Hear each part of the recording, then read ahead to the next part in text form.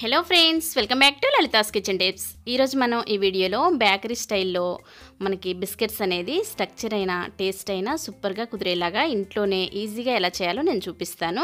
ఇవి మనం చాలా హెల్తీగా గోధుమ పిండితో చేసిన బిస్కెట్స్ అండి. మనకి ఇవి తింటూ ఉంటే ఒక్కటి తినేసి అయితే అస్సలు ఆగమండి. అంత టేస్టీగా ఉంటాయి. మరి ఇవి చూడండి ఎంత క్రంచీగా వచ్చాయో నేను తుంపి చూపిస్తున్నా కదా.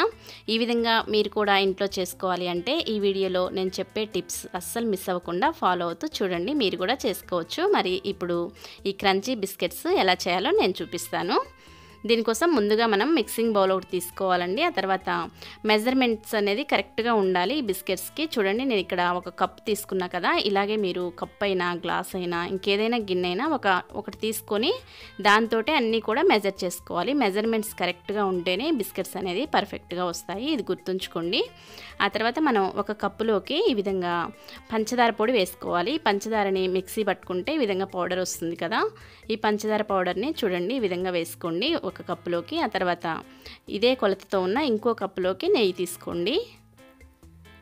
నెయ్యి కొంచెం తక్కువ తీసుకోండి. చూడండి నేను చూపిస్తున్నా కదా కొంచెం తక్కువ తీసుకోండి కప్పుకి. పంచదార కూడా మీ టేస్ట్ని బట్టి ఇంకొంచెం తక్కువైనా తీసుకోవచ్చు. ఈ విధంగా తీసుకొని ఫస్ట్ మిక్సింగ్ బౌల్లోకి నెయ్యి వేసేసి ఆ తర్వాత పంచదార పౌడర్ వేసేసి ఈ విధంగా విస్కర్ ఒకటి తీసుకోండి. విస్కర్తో ఈ విధంగా బాగా మిక్స్ చేయండి. ఇలా మనము స్పూన్తో కూడా మిక్స్ చేసుకోవచ్చు అండి ఈ విధంగా రెండు మూడు నిమిషాల పాటు మిక్స్ చేసుకున్నట్లయితే చూడండి మనకి స్ట్రక్చర్ అనేది క్రీమీ స్ట్రక్చర్ రావాలి. ఈ విధంగా వస్తే సరిపోతుంది. ఇప్పుడు దీంట్లోకి మనం మనం తీసుకున్న మెజరింగ్ కప్ తోటి గోధుమ పిండి కప్పున్నర వరకు వేసుకోండి. అలాగే శనగపిండి ఒక అరకప్పు వరకు వేసుకోండి. ప్రతిదీ కూడా మనం కొలతతోనే వేసుకోవాలండి. మనం కొలవకుండా వేసుకుంటే కరెక్ట్గా రాదు మళ్ళీ. ఆ తర్వాత ఇది బొంబాయి రవ్వ. ఇది అర టేబుల్ స్పూన్ వరకు వేసుకోండి. ఒక టేబుల్ స్పూన్ తీసుకొని హాఫ్ వేసుకోండి. తర్వాత ఇది వెనిలా ఎసెన్స్ అండి. మూడు నాలుగు చుక్కల వరకు వెనిలా ఎసెన్స్ వేసుకోండి. ఒకవేళ ఇది లేకపోతే మీరు యాలకుల పౌడర్ అయినా ఒక అర స్పూన్ వేసుకోవచ్చు. తర్వాత కుకింగ్ సోడా వంట సోడా అంటాం కదా అది ఒక పావు స్పూన్ వేసుకోండి. అలాగే ఉప్పు కూడా ఒక చిటికెడు వరకు వేసుకోండి. కొంచెం వేసుకుంటే సరిపోతుంది. తర్వాత ఇవి మొత్తం కూడా బాగా మిక్స్ చేసుకోవాలి. మనకి బేకింగ్ పౌడర్ వేయకపోయినా ఇవి కరెక్ట్గానే వస్తాయండి. కాకపోతే ఫస్ట్ టైం చేసే వాళ్ళు మాత్రం బేకింగ్ పౌడర్ వేసుకొని చేసుకుంటేనే కరెక్ట్గా వస్తాయి మీకు. చూడండి మనం కలిపేటప్పుడు బాగా రఫ్గా కలపకుండా ఈ విధంగా వేళ్ళతో కొంచెం స్మూత్గా కలుపుకోవాలి. మనకి బాగా కలిపితే ఇవి గట్టిగా వస్తాయండి. ఈ విధంగా స్లోగా కలిపితే మనకి క్రంచీ క్రంచీగా గుల్లగుల్లగా వస్తాయి బిస్కెట్స్. ఈ విధంగా మనం పిండి ప్రిపేర్ చేసి పెట్టుకొని చూడండి నేను ఒకసారి చూపిస్తాను. సాఫ్ట్గా కాకుండా మరీ గట్టిగా కాకుండా ఈ విధంగా ఉంటే సరిపోతుంది. మరి సాఫ్ట్గా కూడా కలపొద్దు. ఇలా కలిపేసి మనం పక్కన పెట్టేసుకోవాలి. ఇప్పుడు మనం బేక్ చేయడం కోసం ఇడ్లీ పాత్రలో చేస్తాం కాబట్టి ఇడ్లీ ప్లేట్స్కి కొంచెం ఆయిల్ రాసేసుకొని ఇవి కూడా పక్కన పెట్టేసుకోవాలి. తర్వాత మనం కలిపిన పిండిలో నుంచి కొంచెం పిండి ముద్ద తీసుకోవాలి. చిన్న లెమన్ సైజ్ తీసుకోండి సరిపోతుంది. తీసుకొని కొంచెం విధంగా బాల్లా చేసేసి ఇలా కొంచెం ఫ్రెష్ చేసినట్లు అయితే మనకి ఈ విధంగా వస్తుంది. ఇప్పుడు మనం ఒక బాటిల్ క్యాప్ అయినా ఇంకేదైనా తీసుకొని ఏదైనా డిజైన్ వేసుకోవాలనుకుంటే ఈ విధంగా వేసి పెట్టుకొని డిజైన్ చేసుకోండి. మీరు మీకు నచ్చిన డిజైన్ ఏదైనా చేసుకోవచ్చు దీనిపైన లేదా అలాగే అయినా ఉంచేసుకోవచ్చు. ఈ విధంగా చేసుకొని మనము ఈ ఆయిల్ రాసినటువంటి ప్లేట్స్లోకి వేసేసుకోవాలి. నేను ఇంకొకటి కూడా చూపిస్తాను. చూడండి. ఒకవేళ మనం ఈ విధంగా చేసేటప్పుడు పగుళ్ళు వచ్చినట్లయితే కొంచెం నెయ్యి వేసి కలుపుకోవచ్చండి పిండిలో.